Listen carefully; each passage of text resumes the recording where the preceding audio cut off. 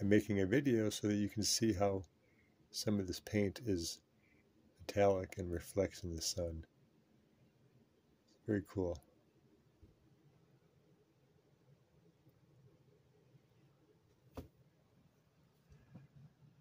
I like it.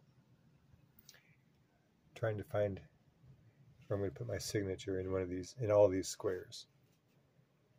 I like how it spread out here.